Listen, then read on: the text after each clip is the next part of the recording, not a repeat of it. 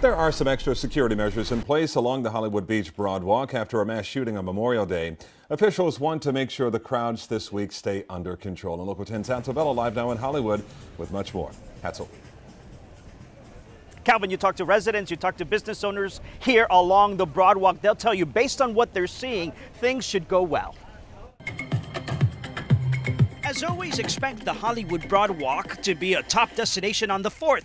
It's where Hollywood residents Crystal and Brian come biking several times a week. They were here the day of the shooting. He just missed it. I was about to ride back this way to get, and the gunfire started happening. What happened over Memorial Day weekend still fresh on the minds of those who love this beachside landmark.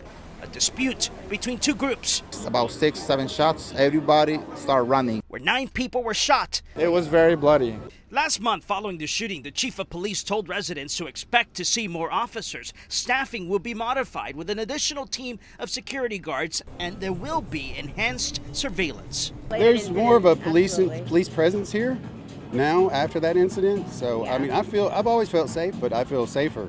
Oh, it's always safe. Bob Farrow has owned Nick's Bar and Grill 43 years. Says he recently sent the city a letter requesting more security. I would assume it's going to be the same as always. They're going to be like 150 policemen.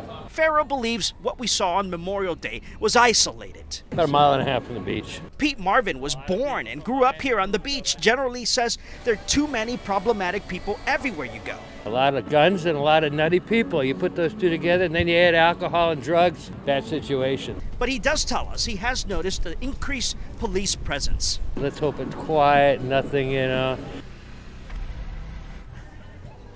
We are all hoping for the same. We should tell you that in addition to the, to the police presence, also expect a lot of uh, traffic changes when it comes to the patterns in and out of this area.